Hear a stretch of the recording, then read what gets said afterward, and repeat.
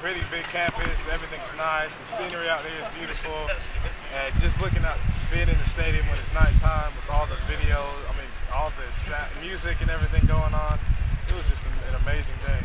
You like Georgia Tech, Alabama, and Florida. Does one have an edge right now, especially after tonight? Uh, right now, they're all about time right, right now. It's, just, it's really hard to decide. I'm hopefully by my junior year or something, I might be able to get it more down pat. How does it feel to be a 2012 guy, kind of rivaling some of these older kids and showing them what you're made of? It feels pretty good to me because I, I it just it just makes me feel that I belong here and I, that I can compete with people that are older than me, and just that I'm pretty good at. Just, and talk about some coaches that you've talked with today, and what have they said to you? Do you feel like you've developed a strong relationship with anyone?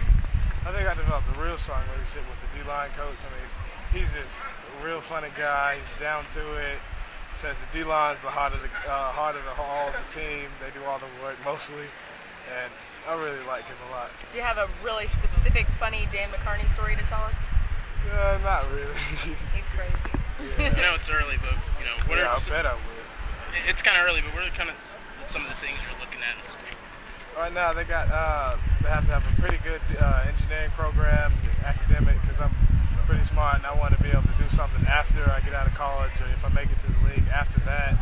And because I'm really engineering is something I like to do and it's pretty interesting to me. What kind of engineering?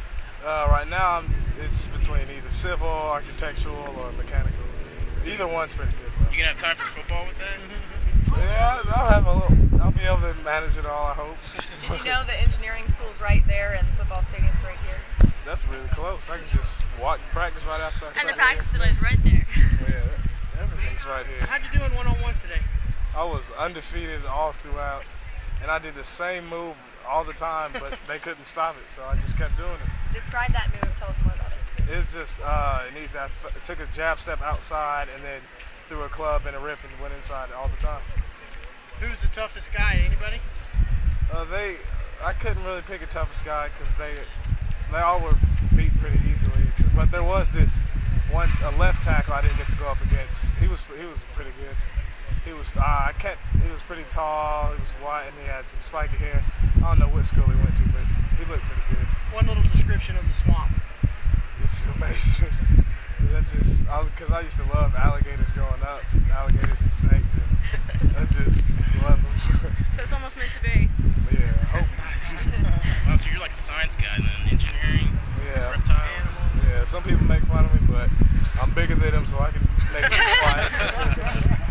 Are you planning on, you know, looking at these schools before you, you know, start your next year? Or is this kind of, well, is this kind of a lot really early for you? Yeah, it's, it's been a lot to go through. I just had to keep on going through all the camps, just not to give up.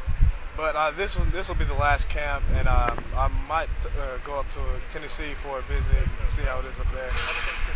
But yeah, this is the last camp.